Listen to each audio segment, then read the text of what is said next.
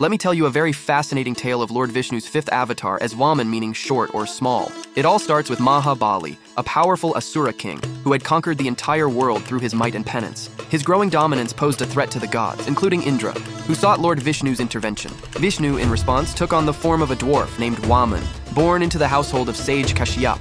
As Vaman grew, he approached King Bali and humbly asked for alms. Bali was delighted to offer him anything he requested, even though his guru Shukracharya warned him that it was Lord Vishnu. Vaman then made a seemingly modest request for just three steps of land from the generous king. Bali, agreeing to this seemingly small ask, found himself in for a surprise. Vaman grew in size, and with his first step, he covered the entire expanse of the earth. With his second, he reached the heavens. But when it came time for his third step, there was no space left. In a selfless act, Bali offered his own head as a platform for Vaman's third step. With this step, Vaman pushed Bali down to the depths of the Patala, thus aiding the gods in their cause.